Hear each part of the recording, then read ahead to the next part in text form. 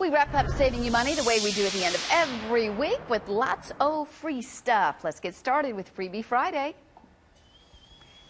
Well, this Dickson dentist is offering free dental care. Dr. Anne Marie Ross and Dr. Anna Singh are doing free extractions, fillings, and cleanings. You can choose from one of those services.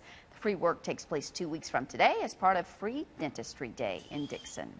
Many of you have procrastinated on your taxes. Well, there is still hope for you. The Volunteer Income Tax Assistance Service, better known as VITA, has sites set up all over the mid-state in Williamson County, Rutherford County, Cannon County, Sumner County, and other spots.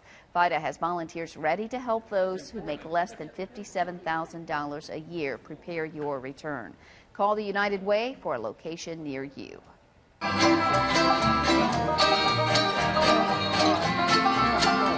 Sumner County Bluegrass Jamboree is tomorrow at Vol State Community College. It features these guys, Bluegrass Ablaze from Vol State, and lots of bluegrass musicians in a free competition. Runs from 10 to 6 tomorrow on campus. Check it out.